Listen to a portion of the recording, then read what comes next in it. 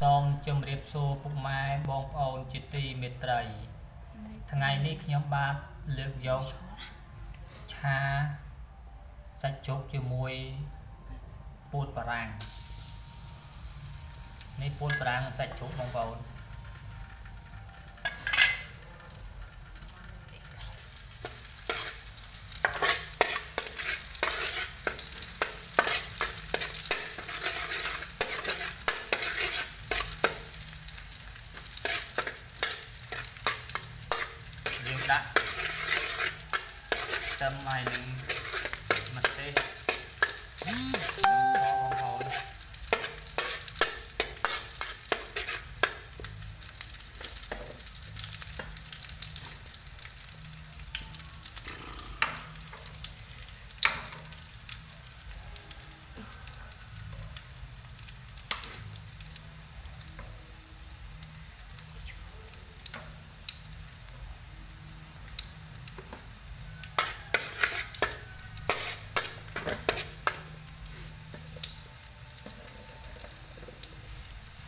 តមកយើងដាក់សាច់សាច់ជ្រូក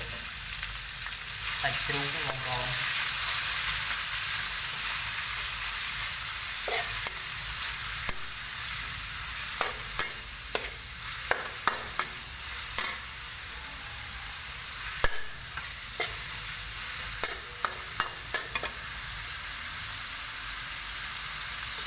ហើយយើងចាក់ទឹកត្រីនេះមក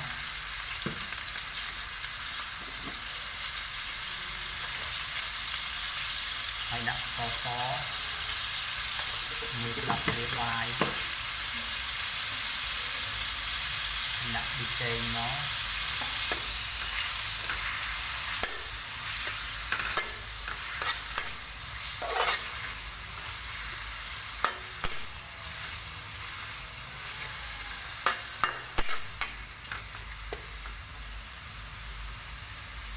ហើយដាក់ប្រេងខ្យងបងប្អូនប្រេងខ្យង Đấy. Như thành cho vào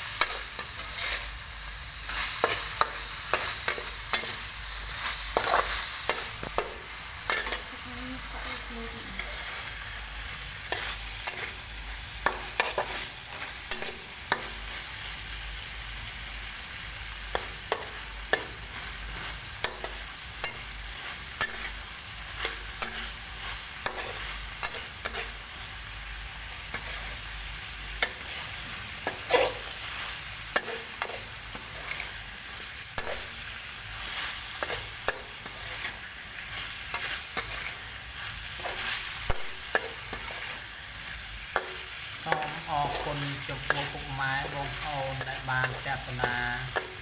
នៅវីដេអូខ្ញុំបាទគឺមុខម្ហូបម៉ែនេះសូមជូនកបងប្អូន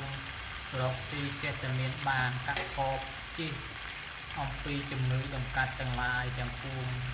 ប្រាក់ចេញឲ្យឆ្ងាយសូមអរប្រគុណ